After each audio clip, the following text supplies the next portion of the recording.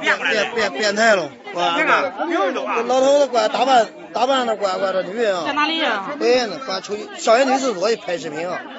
哇！你往沙县哪个领域不像女子多？这所以说那么多像，你看，这麻烦了，这这这个这我，我管他穿穿。